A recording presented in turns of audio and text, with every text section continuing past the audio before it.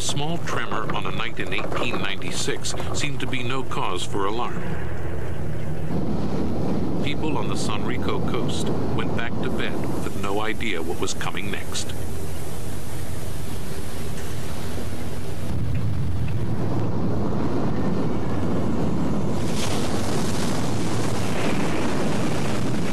The Sanriku tsunami is remembered as one of the most lethal waves in history. Tens of thousands were swept to their death by the wall of water.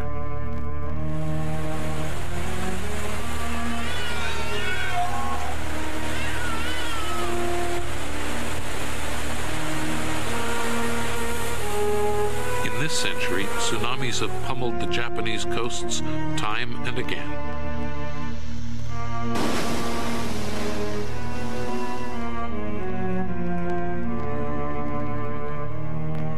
In response to the threat, Japan has built walls.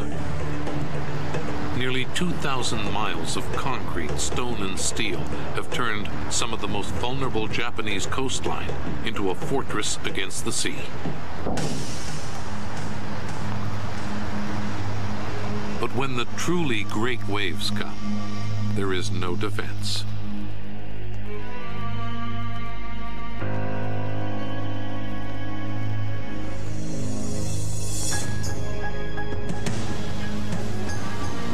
Tsunamis can be created by uh, exploding volcanoes, underwater landslides, and earthquakes. There's one very special way of creating a tsunami, and that is if an object from outer space, an asteroid or a large meteorite, crashes into the Earth. And chances are, of course, it'll crash into the ocean.